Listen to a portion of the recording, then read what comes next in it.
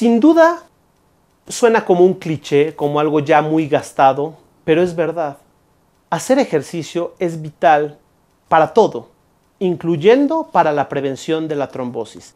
Aquel paciente no es lo mismo una paciente que tiene varices y que va a ser sometida a una cirugía ortopédica y que después de esa cirugía está en cama, está en reposo, esa paciente tiene riesgo de formar trombosis.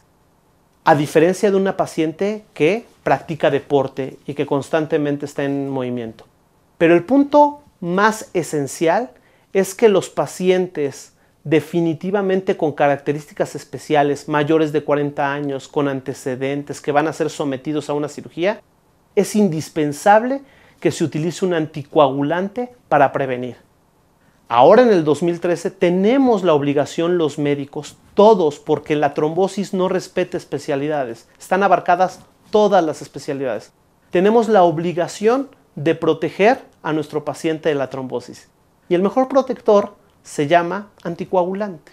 Y el anticoagulante tenemos múltiples opciones, mucho más seguras las modernas, con pocos efectos adversos.